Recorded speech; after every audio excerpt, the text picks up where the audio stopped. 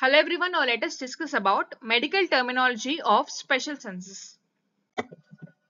The first term is ageusia, which is nothing but loss of sense of taste.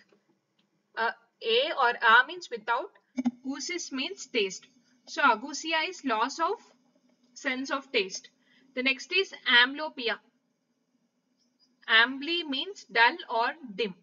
Amblyopia means term used to describe the loss of vision in an otherwise normal eye. Because of muscle imbalance, it cannot focus in synchrony with the other eye. Sometimes it is called as wandering eyeball or a lazy eye. The next term is an anosmia. Anosmia, which is nothing but total lack of sense of smell. Osmi means smell or odor. Next is barotrauma. Damage or pain mainly affecting the middle ear as a result of pressure changes. It occurs when the pressure in the outer side of the tympanic membrane is higher than on the inner side. For example, when flying in an aeroplane or diving or swallowing or holding your nose and exhaling with your mouth closed usually opens the auditory tubes allowing the air in the middle ear to equalize the pressure. The next term is blepharitis. Blephar means eyelid. Itis means inflammation. Blepharitis is nothing but inflammation of eyelid. The next is conjunctivitis.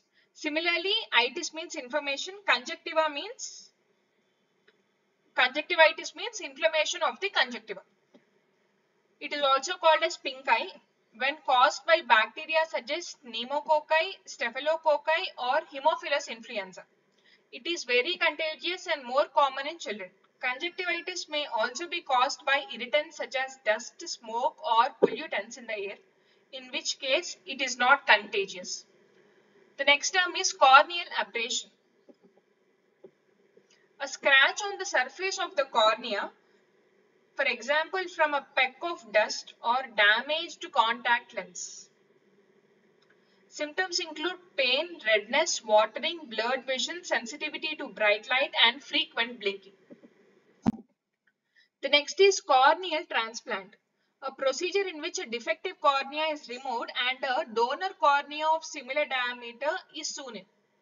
It is the most common and most successful transplant operation. Since the cornea is avascular, antibodies in the blood that might cause rejection do not enter the transplanted tissue and rejection rarely occurs. This is an important point as cornea is avascular, the chances of rejection are very less. And the shortage of donor corneas has been partially overcome by the development of artificial corneas made of plastic. The next term is diabetic retinopathy. Retino means retina. Pathy means suffering. Pathos or pathy means suffering. So diabetic retinopathy is nothing but a degenerative disease of the retina due to diabetes mellitus in which the blood vessels in the eye are damaged or new ones grow and interfere with the vision. The next term is diplopia. In simple terms, diplopia means double vision. An image appears as two images. The next is extropia. It is turning outwards of the eye. X means out, tropia means turning. Extropia means turning outward of the eye. The next term is keratitis. Kerat means cornea. Keratitis is nothing but inflammation or infection of, a, of the cornea. The next is miosis, which is nothing but construction of the pupil. Miosis is construction of the pupil. Mydriasis. Mydriasis is nothing but dilation of the pupil. The next term is nystagmus. It is a rapid involuntary movement of the eyeballs possibly caused by a disease of the central nervous system. It is associated with conditions such as vertigo. The next term is otalgia. Oto means ear, algia means pain. Otalgia is ear ache or ear pain. The next term is photophobia. Photo means light, phobia means fear. So photophobia is nothing but abnormal visual intolerance to light. The next is optosis. It is falling or drooling of the eyelid or slippage of any organ below its normal position. The next term is retinoblastoma. Oma means tumor. A tumor arising from immature retinal cells. Hence the term retinoblastoma. It accounts for 2% of the childhood cancers.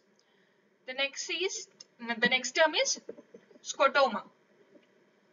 It is an area of reduced or lost vision in the visual field. The next is strabismus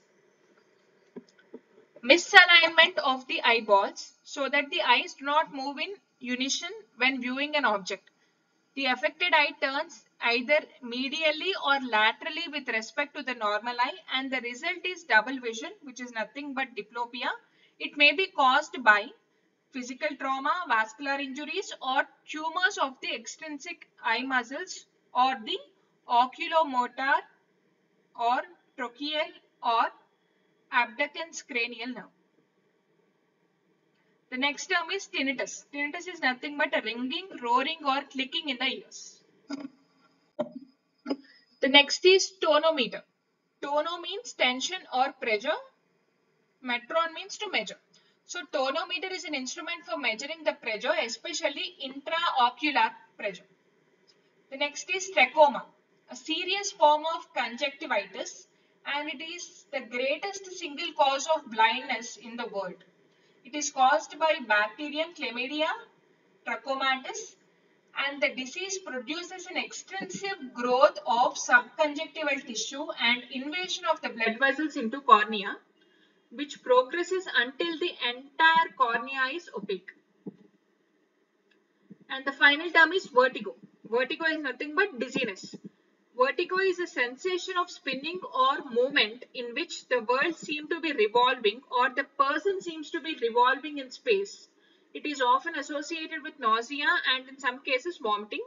It may be caused by arthritis of neck or an infection of the vestibular apparatus. Thank you for watching. Please subscribe for further videos on medical coding and CPC training.